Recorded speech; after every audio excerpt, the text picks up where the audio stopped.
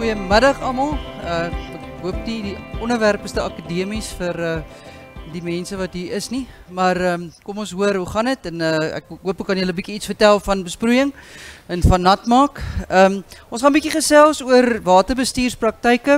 Um, en uh, net om te kyk bietjie wat doen ons beter besproeiingsboere, ons beste besproeiingsboere deesdae? Wat doen ons op die plaas om 'n verskil te maak oor hoe ek my water gebruik vir besproeiing? En net om te begin gaan ek so ietsie sê oor wie is SABI, die Suid-Afrikaanse Besproeiingsinstituut en uh, dan gaan ons bietjie gesels oor hoe bestuur die ouens hulle water en wat is die beste dinge wat jy kan doen vir die water op jou plaas of selfs op jou plot. Ehm um, en uh, ja, as enige vrae is kan ons dit dan daarna hanteer. So SABI, SABI is die Suid-Afrikaanse Besproeiingsinstituut en ons is 'n vrywillige organisasie wat beweeg binne in die gemeenskap van watergebruikers. Ehm uh, verskeie ander organisasies werk ook in die landbou, maar ons is die organisasie wat spesifiek werk in besproeiing. Nou Ons uh, doel is die optimale en doeltreffende gebruik van water. Uh, dit is wat ons nou streef en um, hoe ons dit probeer bereik is deur ons lede wat verskeie maatskappye en uh, ontwerpers is van besproeiingsstelsels soos die ouens wat in die bedryf werk en die stelsels verkoop. Ehm um, so hulle het verskeie produkte en dienste wat hulle aanbied aan die bedryf. Ehm um, en wat Sabi doen is uh, ons kyk na die standaarde vir die ontwerp van besproeiingsstelsels. So daar is nie 'n spesifieke wet in Suid-Afrika wat sê wie mag of wie mag nie 'n besproeiingsstelsel verkoop nie. Ehm um, maar Sabi is in 1976 gestig En toe die ouens bymekaar gekom en gesê hier is 'n behoefte vir reëls oor hoe is 'n goeie besproeiingsstelsel se ontwerp, hoe moet hy lyk? So ons kyk na die standaarde, ons uh, skakel om in uh, kennis, inligting en dan gee ons vir almal geleentheid om daaroor te gesels. So ons doel is om almal te kry om dieselfde taal te praat oor besproeiing en oor bewus te wees van goeie praktyke as dit kom by waterbestuur. So Sapi se rol is regtig om sy lede met almal daar buite te verbind sodat ons um, dieselfde taal kan praat. Nou, hoe doen ons dit? Ehm um, soos ek gesê het, die hart van ons uh, werkverrigtinge is ehm um, die norme of die standaarde. Dan het ons verskeie lidmaatskapkategorieë. Ons gee erkenning aan die bedryf deur uh toekennings. Ons het sewe takke in die land, so 400 lede. Um, ons het ook dan gereeld uh, by inkomste soos 'n kongres elke 2 jaar. Ons het verskeie opleidingsgeleenthede wat ek so klein bietjie by wil stil staan nou. En dan het ons ook verskeie publikasies en woonhoekskoue en dinge by soos hierdie geleenthede. Ons is ook uh, in die verlede al op die radio en ons neem ook so nou en dan ietsie op vir die TV. Net om terug te kom na die opleiding. Sabi het uh, opleidingsgeleenthede op drie gebiede. Um, ons het ons kursusse oor die laaste 15 jaar redelik ontwikkel um, om dit uh, beskikbaar te stel vir mense wat uh, uit die skool uitkom. Jy het miskien nie um, genoeg uh, punte by mekaar geskraap om in universiteit in te kom nie, um, of dit is relatief duur. Um, so ons het opleiding wat op die bedryf gemik is, um, loop oor jaar uh, wat jy hierdie ses kursusse kan doen. Hulle loop van Maart tot Oktober. Ehm um, wat jou 'n baie goeie agtergrond sal gee in besproeiing. Ehm um, van inleidende besproeiingstoerusting kursus, 'n bietjie opmeting en dan die ontwerp kursus wat ons bietjie ook nou oor sal gesels, stelselevaluasie kursus en dan rekenaargebaseerde ontwerp. Ehm um, En as jy daarmee klaar is, het jy baie goeie agtergrond om in die bedryf in te gaan en die, dit word ook erken deur die bedryf. Die veral ons ontwerpkursus, die 4 weke kursus, hy word baie goed erken deur die bedryf en ouens wat in die bedryf kom werk, hulle vra dat hulle daai kursus gedoen het. Dan is ook 'n eksamen wat ouens kan skryf en as hulle hom deurkom by bemark ons hom as 'n sogenaamde goedgekeurde Sabi Sabi ontwerper. En dit is ook 'n baie gesogte kwalifikasie in die bedryf. So dit is die eerste stroom van opleiding, dan doen ons ook opleiding op plaasvlak, um, wat ons plaasarbeiders tot plaasbestuurders oplei, um, en dan ook ons die laaste twee jaar het ons ook een bykie um, die landskapbesproeiingsbedrijf het ons bykie bijgetrek, waar het gaan oor tuinbesproeiing, sportvelde um, en uh, behuisingsprojekte, um, is bykie anderster, maar ons doen dit ook nou die laaste twee jaar. So, met ons opleiding is ons doel om ouwens aan te moedig om dan Sabi goedgekeerde ontwerpers te gebruik, um, want hulle doen die beste werk in die bedrijf en hulle staan by ons norme en standaarde om dan een goeie standaard te handhaf um, in besproeiingsstelsels ontwerp. Nou, as ons een bykie kyk na wat beteken hierdie dan nou alles vir die besproeiingsboer en die ou wat water gebruik om mee te besproei, um, in Zuid-Afrika besproei ons so ongeveer uh, 1% van ons uh, uh, landse area. Um, hierdie syfers is redelik onlangs. Julle kan sien daar in totaal is ons besproeide area in Suid-Afrika so 1.3 miljoen hektaar. Ehm um, terwyl die totale bewerkte area is so 13 amper 14 miljoen hektaar. So is omtrent 1% daarvan ehm wat uh um, En uh, as ons dan nou kyk hoe sit so 'n area aan mekaar, is daar eerstens natuurlik ons opvangsgebiede waar ons die water moet bestuur op 'n skema vlak. Ehm um, en daai skema bestaan dan gewoonlik uit plase. Ehm um, en op 'n plaas is daar dan natuurlik nou jou besproeiingslande. So die watergebruiker of die produsent, hy het beheer oor die land en die plaas, maar jou waterbeskikbaarheid op 'n streeksvlak of op 'n opvangsgebiedsvlak. Ehm um, dit is baie keer in die hande van die uh, autoriteite en hulle moet omsien dat daar genoeg water beskikbaar is in terme van die kwantiteit, maar ook die kwaliteit. En kwaliteit is iets wat ek net 'n bietjie oor gaan gesels wat baie belangrik raak vir ons, wat 'n groot probleem kan veroorsaak. So, hoe bekom 'n produsent dan nou 'n besproeiingsstelsel om sy plaas mee te besproei?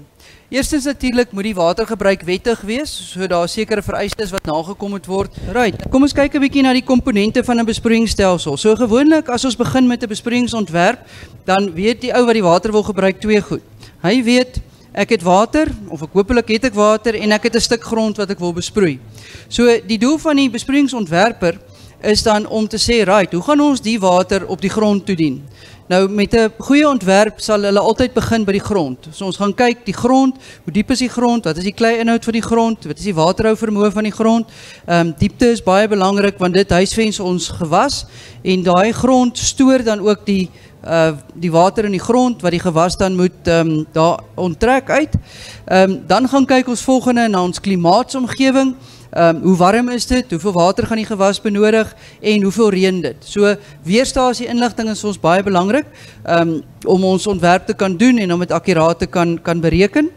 Dan uh as ons dit aangeneem het en ons sien die reënval is nie genoeg nie en ons moet daai water in die dam gebruik, dan kyk ons na ons besproeiingsstelsels se se uitleg en ontwerp. Ehm um, daar's verskeie produkte op die mark wat mense kan gebruik en elkeen het sy eie toepassing en ongelukkige ure is nie genoeg om oor al hierdie goeders lekker in detail te gesels nie. Ehm um, maar daar's verskeie tipes besproeiingsstelsels wat ons kan gebruik en as jy dan nou klaar jou stelsel gekies het, wat die ontwerper dan doen is dan begin hy kyk na die groottes van die pype. Ons ontwerp die pypgroottes ehm um, binne in die in die land en dan ook werk ons terug na die krane, die hooflyne, kies ons filters as dit nodig is en op die einde van die dag kies ons die pomp. Ehm um, en natuurlik dan ook saam met jou kragbron. Vandag is dit ook uh, lekker om hier te sien al die energie wat hier bemark word. Ehm um, en dit is ook die rigting waarin baie van die produsente beweeg, is om 'n bietjie alternatiewe energie te gebruik ehm um, op die op die. Nou met die ontwerp wat dan nou um, in plek is, as hy nou die stelsel dan eers daar is, gaan ons bietjie verder kyk, wat doen ons beste besproeiingsboere in die land? Wat is die praktyke wat hulle dink uh, of wat hulle doen en wat 'n verskil maak? Ehm um, daar's so ses goedjies wat ek vinnig oor wil gesels. Eerstene is bietjie oor die grond in meer detail en dan tweedens die waterkwaliteit want ons hulpbronne is baie belangrik en dis ons basiese hulpbronne in besproeiing is ons grond en ons water. Ehm um, saam dit gaan dan ook die grondwaterbestuur, ons sogenaamde skedulering. Ehm en dan die tegnologie. Die vorige sprekers wat hier hier gesit het, het baie gesels oor tegnologie ook. Ehm hoe gebruik ons uh, groot besproeiingsboere deesdae tegnologie op die plase? So die gronde is baie belangrik vir ons. Soos ek gesê het, die grond is ons is ons uh uh hoeksteen van ons stelsel. Hy hy hou die water, hy anker ons gewas. So grondondersoek behels dat 'n mens gaan kyk na hoe diep is die grond, wat is die uh tekstuur van die grond, hoeveel water hou die grond en dan karteer ons dit. En ons karteer dit saam met ander inligting ehm soos die dieptes van die grond, Ehm um, baie vlak gronde kan ons probleme veroorsaak en op die ou ehm is ook goed soos die klei inhoud en dan op die ou end sit ons dit bymekaar na 'n sogenaamde besproeiingspotensiaal. Want nie alle gronde kan besproei word nie. Mense mense weet dit maar nie alle gronde kan besproei word nie en 'n grond grond het 'n sekere besproeiingspotensiaal en hoe hoër die potensiaal van die grond is, hoe beter natuurlik sal dit uh wees vir jou en hoe meer winsgewend kan jou boerdery wees. Ons kan ook hierdie tipe grondkaarte dan gebruik om ander uitlegte te doen waar ons miskien moeilike terrein het wat ons baie styl terrein het, um, baie verskillende gronde in 'n klein area, gebruik ons dit dan om byvoorbeeld ons blok uitlegte te doen en dit doen ons sodat ons verskillende tipes gronde saam kan bestuur. Sandgronde en kleigronde um, word verskillend bestuur in terme van water. So dis net makliker as jou uitlegte so gedoen is dat jy gronde wat dieselfde is saam groepeer. So dis 'n bietjie oor die grond. Grond is vir ons 'n baie belangrike bousteen in ons besproeiingsstelsel. Die tweede aspek, tweede ehm uh, uh punt wat ek oor wil gesels is my waterkwaliteit. Waterkwaliteit is ook iets wat nie konstant bly nie. Ehm um, dit kan verander weens menslike ehm um, praktyke ook wat wat plaasvind. So ons identifiseer basies 3 uh, groepe um, onsuiverhede wat ons water kan besoedel. Daar's uh, lewendige organismes en dan is daar jou solides en dan is daar opgeloste stowwe. En alles hierdie uh, water kan waterkwaliteitsprobleme vir my veroorsaak, my grond, my plant en selfs op my besproeiingsstelsel. Eerstens is um, vaste of soliede stowwe kan uh, blokkades veroorsaak en dit kan lei tot uh, stelsels wat nie reg werk nie, gewasse wat nie genoeg water kry nie en dan uh, uh, emitters wat oor tyd blok en dan gee my stelsel al minder en minder water. So ek moet daarna kyk voor ek my stelsel kies. Dan ook my chemiese um, onsuiverhede kan uh, probleme veroorsaak aan my pype, my gronde, my plante. Um, dit kan my uh, water kan of aggressief wees dat dit die pype aanval of dit kan deponerend wees wat beteken dit slaan aan in die pype en dit verstop die pype. Um, En dan natuurlik kan die water ook my gewas beïnvloed. So as die gewas nie uh, reg is nie, dan kan dit die gewas brand. Op veral op sekere stadiums van sy groei uh, tydperk is gewasse baie sensitief vir sekere chemiese stowwe en dit kan nou sekere negatiewe effekte hê op my gewas. Op die einde van die dag is daar verskeie onsuiverhede in die water en moet ek dit um, kan uithaal as dit nodig is, dat dit vir my 'n probleem gaan veroorsaak. Uh basiese filtrering haal fisiese stowwe uit, maar ehm um, ultrafiltrasie of selfs reverse osmosis mag nodig wees om sekere ander kleiner onsuiverhede uit die water uit te haal. Daar's verskeie prosesse wat ons kan gebruik om dit te doen. Gaan nie vandag in detail daaroor gesels nie. Ek dink daar selfs op die terrein vandag is hier uh, van die ouens wat uh, sekere van hierdie stelsels verkoop om jou water te behandel sodat dit geskik is vir menslike of selfs plantgebruik dan. Oor die algemeen net 'n maklike manier om te onthou wat is goeie kwaliteit en wat is swak kwaliteit water. Goeie kwaliteit water is gewoonlik water van 'n boorgat wat nie chemiese probleme het nie. So hy's helder, jy kan hom deur hom sien. Ehm um, hy's nie terbiet nie en ehm um, daar's nie yster en mangaan in nie. Dit is die twee gevaarlike goed vir besproeiingsstelsels. Dan gemiddelde kwaliteit water is gewoonlik rivierwater in 'n koel klimaat. So daar's uh, ook 'n is 'n redelike skoon water, ehm um, maar hy's nie so helder nie, maar hy het nie chemiese probleme in in in eh, ehm uh, en ook nie uh lewende organismes in wat kan probleme veroorsaak. En dan raak ek my swakker kwaliteit water. Dit is gewoonlik riviere en damme wat warm klimaat is, die water staan stil, goed kan lekker groei, dalk 'n bietjie uh, chemies uh, besoedeld um, of uh, boorgatwater. Ons kry baie op ons kleinhoewes, die boorgate is nie altyd in 'n goeie toestand nie. Hy val in want die um, is nie in 'n goeie toestand nie en dit kan alles swak kwaliteit water veroorsaak en dan as ek nou regtig besoedelde water het, dan is dit 'n kwaliteit wat ek nie eintlik meer kan gebruik vir besproeiing sonder om 'n klomp geld te spandeer om uh, reg te vir vir die toepassing nie. So, ons grond, dis ons water. Dan gebruik ons die water natuurlik om te besproei. Nou, die toedien van water um, op my plante, die praktyk daarvan noem ek skedulering. Skedulering beteken ek moet besluit wanneer besproei ek, hoeveel water gee ek. Ehm um, so dit is 'n 'n 'n 'n besluit wat ek moet neem om daai uh, skedule uit te werk. Anderster gaan ek oorbesproei of ek gaan onderbesproei. Ehm um, daar's verskeie hulpmiddels beskikbaar om dit vir my makliker te maak en verskeie tegnologieë wat ook oor die jare ontwikkel het. Ehm um, so die besproeiingsboer basies deur gaan deur die seisoen, die besluitnemingsmodel wat hy het is, hy moet besluit hoeveel water gaan ek gee. So hy moet dit voorspel. Nou ons weet nie wanneer dit gaan reën nie, maar hy weet min of meer hoeveel water die gewas gaan nodig hê. Dan moet hy dit doen wat hy gesê het hy gaan doen, die hoeveelheid water gee wat hy gedink het hy moet gee en dan moet hy dit meet op 'n manier met hy sien wat in die grond aangaan. Nou daar's verskeie ehm uh, hulpmiddels beskikbaar wat 'n mens kan gebruik wat oor die jare ontwikkel het. Meeste van hulle meet grondvogspanning, met ander woorde hoe ehm um, styf die die grond die water vashou en met ander woorde hoe moeilik dit is vir die plant om die water uit die grond uit te onttrek. Ehm um, die mees uh, algemene uh, tegnologie wat deesdae gebruik word is sogenaamde kapasitansie uh, sensors. Praat ook van probes, dis maar die die, die term wat hulle praat is is uh, kapasitansie probes en hulle word dan nou in die grond ehm geïnstalleer en hulle meet op verskillende dieptes hoe nat is die grond. En dit help ons dan nou om ons plant beter te bestuur en vir al die wortelontwikkeling beter te bestuur om seker te maak dat daar op die regte diepte vir die gewas water beskikbaar is. Nou een groot voordeel van hierdie sensors is hulle meet kontinu. So jy het nou toepassings wat jy op jou foon kan ingaan, jy kan gaan kyk hoe lyk die grondvog in my lande? Moet ek besproei? Moes ek al besproei het? Is dit nat genoeg? Ehm um, in die verlede moes jy ouens met die hand gaan lesings neem en wat jy dan gekry het is jy dan maar deur die seisoen het jy net 'n paar lesings gekry en jy het nie geweet wat gebeur tussen daai tye nie. So ehm um, As jy dan nou kontinu gaan meet, dan kry jy 'n kontinue grafiek wat vir jou sê hoe die grond nat word as ek besproei en dan nou hoe dit uitdroog soos wat die plant die water uit die grond uit onttrek. En dit is baie nuttige inligting want dit maak dit vir ons moontlik om hierdie pieke en dale uit te skakel waar ek die plant baie nat maak en baie droog laat word. En daar op daardie manier kry ek my beste produktiwiteit en my beste winsgewendheid uit my besproeiingsboerdery uit. So so klompie tegniese data. Ek gaan nie in groot detail daarop ingaan nie, maar meeste van die verskaffers van die van die probes het maar sagte ware wat dan vir jou die inligting gee saam met jou reënval en jou besproeiingsdata sodat jy 'n geskiedenis het van hoeveel water is gebruik en jy kan jou grond dan op sy beste bestuur.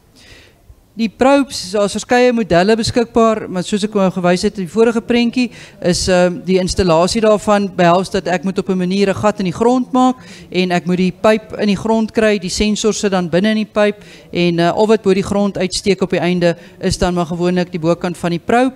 Die data wat op die probes is kan dan op verskeie maniere afgelaai word. Een manier is so amper 'n tipe van 'n Bluetooth toepassing wat jy 'n logger het en jy loop verby en dan tel jy die probe se data op en dan kan jy dit daarna kan jy dit nou op jou rekenaar gaan aflaai en na die data kyk. Ehm um, natuurlik wat baie meer gemaklik is is as ons uh, die data somme outomaties stuur gewoonlik na 'n webwerf toe of op jou foon en dan kan jy die data enige tyd uh, toegang na toe hê en jy kan vanoggend kyk wat gisteraand gebeur het of waar staan my land se waterinhoud uh, op daai spesifieke tyd. Die um, groot uitdaging met die stelsel was maar altyd die krag, maar die batterye het so verbeter al dat um, uh, iemand het in vorige lezing ook gesê van um, batterye wat baie gelaai kan word. Um, en uh, die batterytegnologie het nou so verbeter dat uh, ons vir, tot hele seisoen kan deurgaan sonder om batterye te gaan ruil.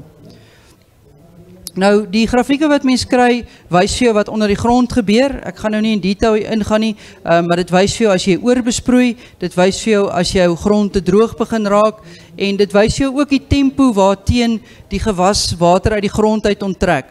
Basies hoe styler hierdie grafieke is, hoe vinniger onttrek die gewas water uit die grond. Gewoonlik op 'n baie warm dag onttrek die gewas wa baie water. So hierso byvoorbeeld kan 'n mens sien in een dag het hierdie gewas 8 mm water uit die grond uitgetrek.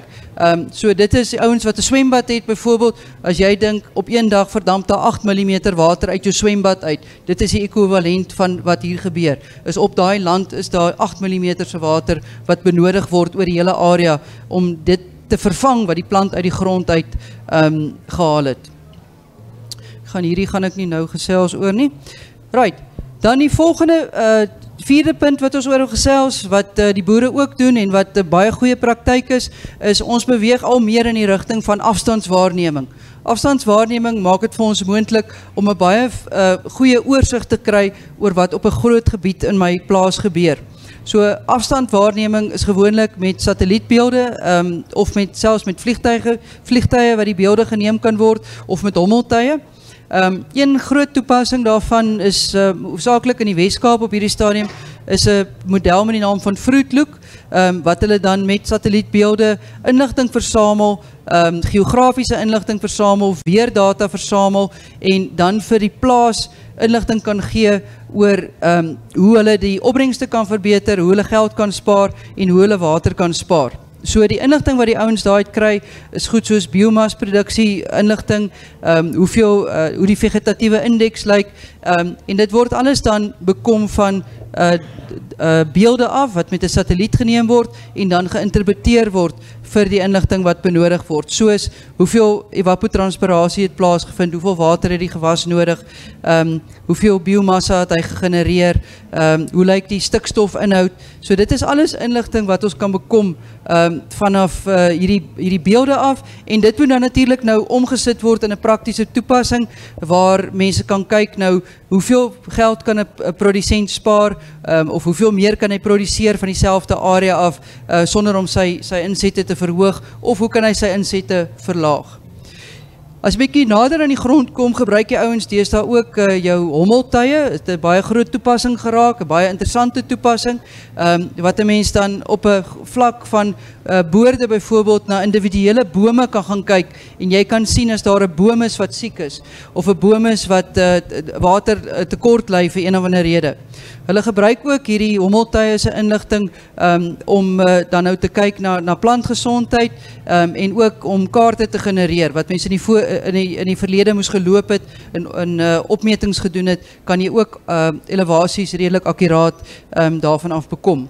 En dit sê vir ons partykeer goed van ons stelsel wat ons nie kan sien as ons op die grond staan nie. Hierdie is met 'n hommeltuig geneem uh, wat jy kan sien die sulke ringe onder die besproeiingsstelsel en dit is 'n aanduiding van 'n probleem in die spesifieke besproeiingsstelsel se watertoediening. So dit gee vir ons nuttige inligting. Dan ehm um, die vyfde punt wat ons nou wil kyk is dan energiebestuur um, energiebestuur en automatisering van stelsels ook. Nou, energiebestuur is ook een baie komplekse onderwerp om oor te gesels. Mens kan die hele dag daaroor gesels.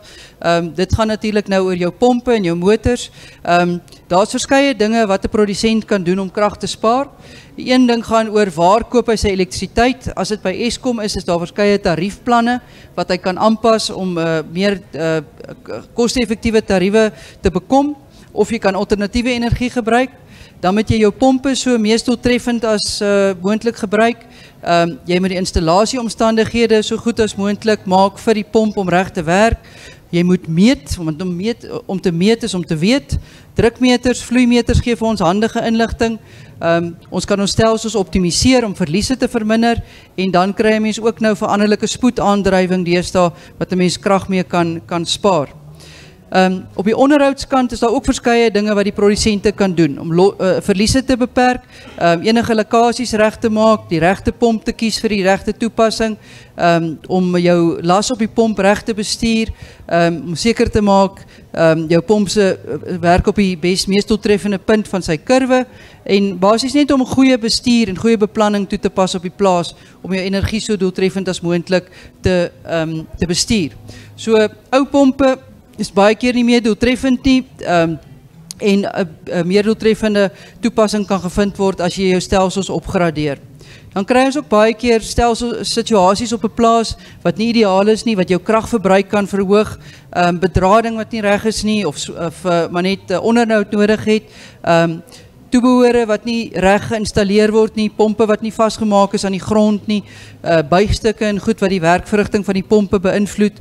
Ehm onveilige situasies in die pompstasie kan ook bydra tot tot beserings um, en swak onderhoud wat lekkasies byvoorbeeld in die pompe veroorsaak kan lei tot faling van jou jou um, aste en die laars binne in die pompe. So dis 'n baie tegniese onderwerp, maar daar's nogal baie wat 'n mens kan doen om jou stelsel se bedryf te verbeter. Dan saam met dit loop ook wat ons noem outomatisering. Automatisering is weer eens die gebruik van tegnologie om my om my eh, stelsels beter te bestuur. So daar's gewoonlik 'n uh, kommunikasie tussen 'n rekenaar of 'n selfoon ehm goed toe soos jou jou pompstasie ehm en dan van daar af kan jy verskeie ehm um, komponente van jou stelsel bestuur soos jou krane wat jy kan oop en toe maak, jou filters wat jy kan moniteer, Um, en selfs jou grondvogbestuur in die grond kan jy moniteer vanaf 'n afstand af en besluite neem rondom dit om jou water uh, toediening so goed as moontlik um, toe te pas. So die voordele van outomatisering is dan om meer ingelig te wees oor jou stelsel, um, om beter beheer toe te pas en op die einde van die dag jou water meer akkuraat te kan bestuur. Die laaste punt wat ek gou 'n bietjie oor wil gesels is watermeting. Nou watermeting is iets wat ek dink baie mense nie baie keer aan dink nie, maar ons landbouwater ehm um, moet vanaf Februarie hierdie jaar as jy deel vorm van 'n besproeiingsskema moet jou water gemeet word. Met ander woorde daar moet 'n meter in wees. Soos wat ons in die dorpe en die stede elkeen 'n watermeter het by ons eiendom, is daar nie noodwendig by landboutoepassings watermeters in nie. So in Februarie van hierdie jaar het Departement van Water en Sanitasie 'n regulasie uitgevaardig wat gesê het uh, daar moet meters geïnstalleer word. Ehm um, en die vraag is dan altyd watse meter moet ek installeer? Nou, dis nie net moenie net 'n slaanstok wees nie. Ek het net nou gesê om te meet is om te weet. So as ek uh, kan meet, het, weet ek ook meer van my stelsel af en kan ek my water meer doeltreffend bestuur. So wat meet ons as ons kyk na besproeiing? Dis gewoonlik of in pype of in kanale wil ons vloeitempo of 'n volume soms meet, ons wil dit kumulatief meet. Ehm um, ons wil partykeer net weet hoeveel loop daar nou, maar ons wil partykeer weet hoeveel het daar gister geloop.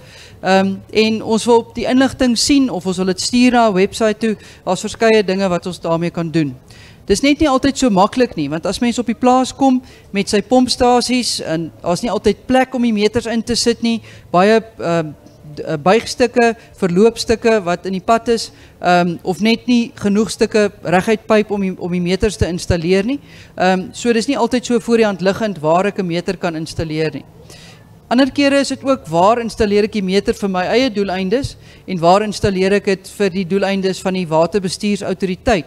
So hierdie is die Vaalrivier wat daar loop. Ehm um, die spesifieke produsent pomp die water ongeveer 12 km om dit te gebruik. Hy stel belang in wat sit hy hier neer. Die autoriteite wil weet hoeveel onttrek hy uit die rivier. So waar sit ek die meter in? Sit ek dit hierin of sit ek hom hierin waar ek wil weet? So dis klein besluite wat geneem moet word. As ons ons meters dan nou kies, is daar ook 'n hele reeks dinge wat ons moet in ag neem van die vloeitempo, die waterkwaliteit, die installasieomstandighede, akkuraatheid, ehm um, is daar krag benodig? Hoe lank dink ek gaan die ding hou? Wie gaan hom regmaak? Ehm um, hoe betroubaar moet hy wees? Moet sy lesing in die hof kan staan of is dit my net vir my eie gebruik? En natuurlik, wat kos die meters? So, daar's verskeie oplossings beskikbaar om te meet. Ehm um, Party van ons uh, produsente kry nog water uit oop kanale uit. In daai geval is daar meetstrukture wat gebruik word om die vloei te meet uit die kanale uit. So as jy in 'n kanaal sien, 'n vernouing of 'n 'n oorvalstruktuur, uh, dit is meetstrukture waarmee ons meet hoeveel water loop in 'n rivier of in 'n kanaal. Um en die vloei wat daar deurgang hang af van hoe diep loop die water oor die uh, struktuur. Um, op plaasvlak is daar ook baie keer sluis uit, uit, uitkere of um, meetstrukture soos 'n parcel geet en dit is um, strukture wat ons help om te meet hoeveel water loop by 'n spesifieke punt verby. Um, so dit is die die rede die tegnologie is dan om die water te kan bestuur om seker te maak dat elke gebruiker op so 'n skema sy geregmatige hoeveelheid water kry. Daar is ook nuwer tegnologie wat alternatiewe is. Ons het ultrasoniese toerusting wat ons kan gebruik. Hierdie wat lyk soos 'n pad is eintlik 'n kanaal, grondkanaal wat die water inloop en eh, die ultrasoniese tegnologie lees dan hoeveel water loop in daai kanaal as hy nou vol water sou sou geloop. Ehm ons kry ook ander tegnologie wat ons onder in die kanaal kan vassit en hy lees dan wat is die water se vloeisnelheid as die water oor hom beweeg en jy sien eintlik maar niks van buite af nie want alles is onder die water weggesteek. Meeste van ons toepassings is egter in pype wat ons ons water um, in uh, onder druk sit met 'n pomp en in 'n pyp vervoer. Daar's basies uh, twee hoofgroepe meters wat ons kan gebruik. Ons kan die water direk meet of ons kan dit indirek meet en in die geval van die direkte meting is dit meganiese meters, elektromagnetiese meters of ultrasoniese meters wat ons kan gebruik. So my meganiese meters is my goedkoopste meters wat ek kan gebruik. Hy werk op die beginsel van daar's iets wat roteer in die water en die spoed waarteen hy roteer gee natuurlik vir my aanduiding van die vloeisnelheid deur die pyp en dan ook natuurlik die vloeitempo. Meeste van ons sogenaamde besproeiingsmeters ehm um, het hulle die meetelementjie heelwat verklein in vergeval met in vergelyking met my skoonwatermetings en uh, meters en um, daarom is hulle uh, is dit baie belangrik dat hulle reg geïnstalleer word anderster kan hulle nie akkuraat lees nie. Ehm um, so alhoewel hulle dan nou relatief goedkoop is, uh, kry mens ook meer duurder uh, modelle.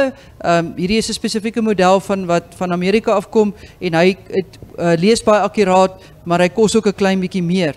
Ehm um, so oor die algemeen is die meganiese meters goedkoop, maar hulle moet baie goed geïnstalleer word en hulle akkuraatheid kan ook uh, uh moet ook gereeld nagegaan word dan dat dit akkuraat kan bly. Die tweede groep, die elektromagnetiese meters, um, is ideaal vir besproeiing. Um, Daar's niks in die pad van die water nie. Uh, dit werk op elektromagnetiese induksie waar ek 'n geleier het wat deur 'n magneetveld beweeg en hy wek dan wek dan 'n krag op. So daar's absoluut niks wat roteer of wat beweeg nie en dit is ideaal vir ons toepassing. Gaan hy ou net so As net die pomp daar buite 'n bietjie laat verbygaan, dan uh, kan ons kan ons Dis 'n ander tipe besproeiing. Goed, so elektromagnetiese meters kos 'n bietjie meer en hulle is ook baie swaar want hulle het binne in hulle het hulle 'n uh, 'n paar coils, 'n uh, draad wat uh, nogal om nogal swaar maak. Uh, maar hulle is baie akkuraat en uh, hulle gee vir ons 'n baie goeie oplossing vir vuil besproeiingswater. Dan uh, hierdie is 'n ander tipe elektromagnetiese meter. Hy steek net so klein entjie in die pyp in baie maklik om te installeer, maar nie so akkuraat soos die ander tipe nie. So om op te som elektromagnetiese meters is ideaal want daar's geen bewegende dele nie. Hulle is baie akkuraat um, en hulle is uh, relatief maklik om te installeer. Hulle is nie so sensitief vir versteurings in die um, uh, in die in die nie. Um, en hulle is ook relatief moeilik om uh, meer te peter. Is natuurlik 'n probleem in die meganiese meters. Dit is baie maklik om hom te laat stil staan. 'n of 'n mikstok of so iets kan hom gaan hom tot stilstand bring. Die uh, derde groep is dan die akoestiese of die ultrasoniese meters, ook ideaal vir besproeiing, ook niks in die pad van die water nie, is 'n baie interessante tipe meter. Hy stuur 'n klankgolf oor die water uh, stroom en die water versnel die klankgolf of hy vertraag die klankgolf en die tydsverskil wat plaasvind word dan gebruik om die vloeisnelheid uit te werk. So ook geen bewegende dele, niks in die pad van die water nie. Ons kry hom ook in 'n baie handige aanklampmodel wat ek kom aan die buitekant van die pyp vasklamp en hy lees dan vir my die vloei binne in die pyp. So ek kan die meter kan ek rondskuif en ek kan metings neem soos dit nodig is of ek kan die meter gebruik om ander meters mee te kalibreer. Jy kry ook 'n tweede model, 'n Doppler tipe wat op dieselfde uh prinsip werk. Ehm um, met Doppler uh die Doppler of die Doppler beginsel en nie met die tydsverskil beginsel nie. Die ehm Voordeel van die ultrasoniese meters is dis ook dat hulle baie geskik is vir vuil water en ehm jy kan die aanklamp tipe meters kan jy 1 meter op verskeie pypgroottes gebruik. Ehm um, hulle is ongelukkig 'n klein bietjie duurder en hulle is nogal sensitief vir versteurings in die uh profiel van die water. So hy moet ook op die regte plek geïnstalleer word om uh reg te werk. As ons ons meters gebruik, is dit ook baie belangrik dat ons hulle reg lees. So maak altyd seker dat jy die meter kan uh, se gesig kan interpreteer en seker maak watter is jou desimale en wat is jou eenhede wat gebruik word. Die nuutste tegnologie natuurlik stuur ons meterlesings na 'n webwerf toe. Ehm um, nou dis 'n bietjie klein op die skerm vir die mense hier nie gehoor. Ehm um, maar die meterlesing sê dan vir my uh, wanneer die pomp geloop het, wanneer die besproeiingsstelsel geloop het en hy kan ook vir my sekere goed uitwys soos wanneer 'n pyp gebreek het en die en die water se vloeitempo skielik baie opgegaan het of wanneer daar drukvariasies in die stelsel is wat dan sekere effekte het op my besproeiingsstelsel se werkverrigting en die doeltreffendheid van die stelsel. Die ander tipe meting wat ons kry is ons indirekte meting. Baie keer met ons direkte meters is dit nie so maklik om dit te installeer nie soos ek reeds al vir julle gewys het en ook as ek in die pype begin sny, baie keer veroorsaak dit dan uh effekte op die pype wat ek nie aan gedink het nie. Die vuil goed binne in die pype kan ook die meter se werkverrigting uh beïnvloed.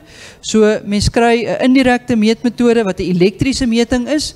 Ehm um, die krag van die ehm uh, uh, pomp wat die pomp trek by die uh wat die motor trek by die by die pomp gaan deur die meter en hy word gekalibreer vir 'n vloeitempo so dis 'n skoon installasie dis 'n elektriese installasie maar hy meet vir my die vloei en ek kan dan al die inligting van die pomp kan ek dan saam met die ehm um, hidroliese inligting kan ek ook die elektriese inligting kry so ek kan sien hoe lyk my elektrisiteitsverbruik en hoe doeltreffend loop my my stelsel ehm ook van 'n elektrisiteitstoepassing af en nie net van die watertoepassing af nie. So ek kan verskeie inligting uh, kry uit die stelsel uit vloei maar ook volts, reaktiewe energie, ehm um, ampere, uh, al die elektriese inligting wat nodig is. So om op te som Ehm um, miskien moet ek net ietsie daaroor by. So in die posisie is dat jy water gebruik in die landbou, maak maar seker of jy nie van die groep mense is wat eintlik teen nou meter moet in jy 'n meter gaan insit, maak seker jy kies die regte meter vir die waterkwaliteit wat jy het. Ehm as die water vuil is, wees maar versigtig vir die meganiese meters. Ehm kies dan ook die regte meter vir die vloei tempo wat hy moet kan hanteer. Dis nie noodwendig dieselfde grootte as wat die pyp is nie. Ehm um, die meter grootte kan dalk een grootte kleiner wees. Ehm um, vir hom om akkuraat te werk. Dan moet ons die meters reg installeer, anders dan gaan hulle nie reg werk nie. En gewoonlik moet mens elke 2 jaar ten minste die meter nagaan om seker te maak hy werk nog ehm um, akkuraat. Dis ongelukkig nie 'n baie goedkoop oefening nie. Ehm tipiese is tussen 20 en 30000 rand om die meter in te sit, maar dis natuurlik op jou groter toepassing. Ehm um, ons kyk tussen 150 en 200 mm aftappe. So dis 'n redelike klompie water. Dis 'n plase water. Dis nie sommer net 'n klein boorgaatjie se se water nie. Daar is ook verskeie navorsingsverslae wat uh, beskikbaar is daaroor uh, van die Water Navorsingskommissie um, wat 'n mens uh, op uh, die Watermeter webblad kan gaan aflaai. Right, so om op te som, so 'n bietjie het ons gesels oor doeltreffende watergebruik en doeltreffende watergebruikspraktyke. Ehm um, as ons 'n doeltreffende besproeiingsstelsel wil hê, is dit belangrik dat ons die besproeiingsstelsel beplan met ons hulpbronne in gedagte, ons grond en ons water.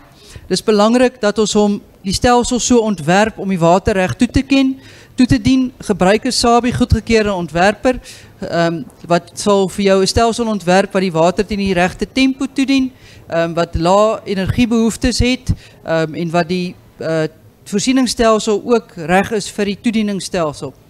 Um, dan is het belangrijk om goede kwaliteit besproeiingstoerusting um, aan te koop. Wees maar voorzichtig voor uh, goed wat vinnig ingevoerd wordt en nog niet lang in die land uh, gebruikt wordt. Nie. Maak zeker als iemand wat veel ondersteuningsdienst kan geven.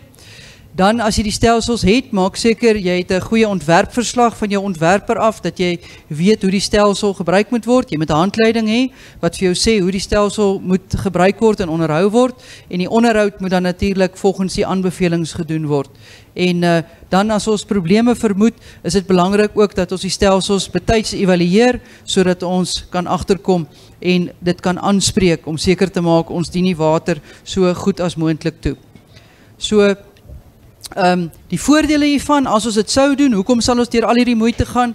Kan ons ons water beter skeduleer, ons kan ons toedienings beter skeduleer, ons kan beter kyk na ons grond, ons grond se gesondheid is baie belangrik. Ons grond se gesondheid bepaal ons opbrengste, dit bepaal ons langtermyn winsgewendheid.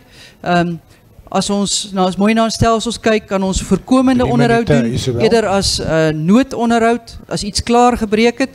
Um, ons kan ons wa beskikbare water wat 'n skaars hulpbron is, kan ons so goed as moontlik optimeer en gebruik. Ons kan minder onderbrekings hê in ons uh, toepassings en ons kan seker maak ons spreek die probleme wat die wat die grootste nood het eerste aan. Op die einde van die dag vir 'n produsent beteken dit beter opbrengste en beter winsgewendheid. So so vir kragdag doen jou eie ding, groter winsgewendheid is baie belangrik.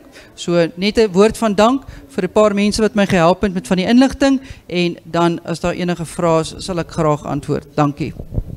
Baie dankie Isabel. Ehm enige vrae uit die gehoor?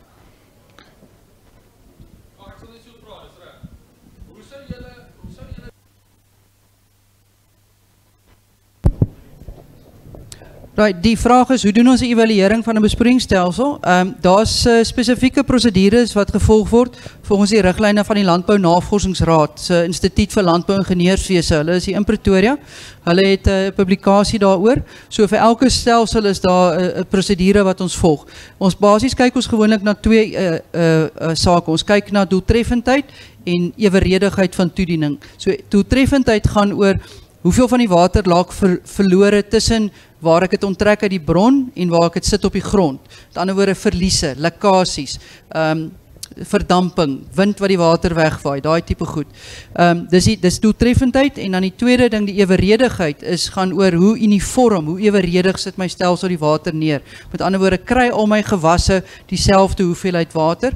Ehm um, met die oorhoofse stelsel so sprinkelaars en spulpunte pak ons reënmeters uit. So jy vang die water in 'n reënmeter op en met jou drippers en jou mikrospuitjies meet ons individue individuele spuitjies. So jy vang die water uit een drippertjie of een spuitjie, vang jy op in 'n maatsilinder en jy vergelyk dit met wat dit veronderstel is om te wees op verskeie plekke in 'n in 'n land. En dan analiseer ons die data en dan het ons parameters, sekere aanduiers, uh uniformiteitskoëffisiënte wat dan sê die stelsel moet 'n sekere aan 'n sekere minimumwaarde voldoen. En as hy nie daaraan voldoen nie, wat kan die moontlike oorsake wees? Nog 'n vraag?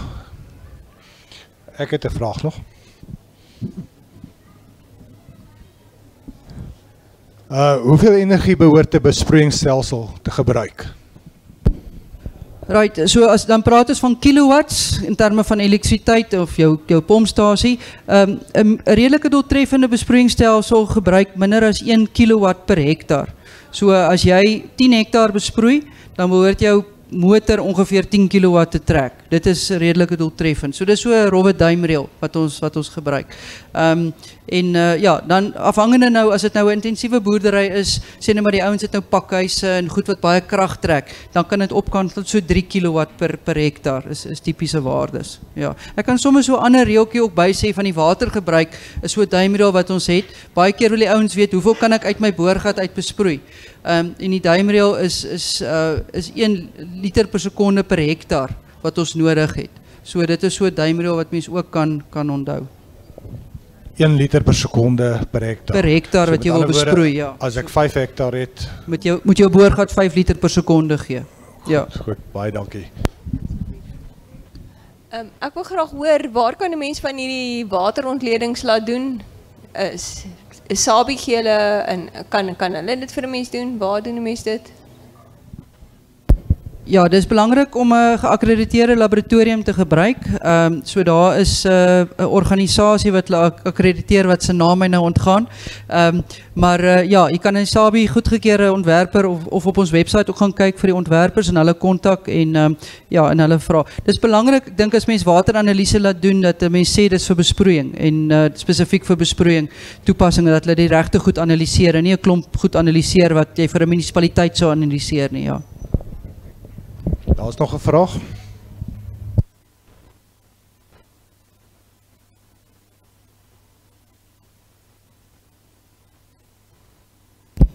Ja, eh, maar die vraag is uh, mangaan en yster is 'n probleem in waterkwaliteit. Dit is en dit is spesifiek nogal met jou drip besproeiing want dit maak jou drippertjies ehm um, toe, dit slaan aan.